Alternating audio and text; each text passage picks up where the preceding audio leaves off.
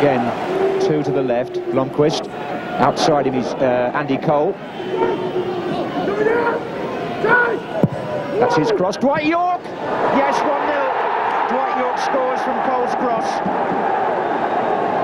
Simple enough, near post goal there. And Yorke really is in a rich vein of form with his new club.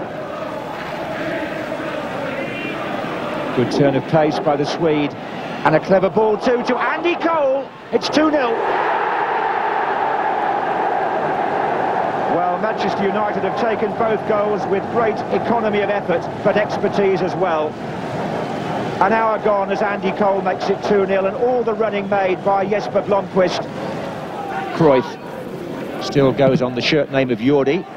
And here he comes now with uh, Sheringham to his right and Cole to his left, and Cole in bags of space again. Saved by Jones. Cruyff! 3-0. Well, he's hardly been on the pitch. Jordi Cruyff long enough to touch the ball, but he's made his impression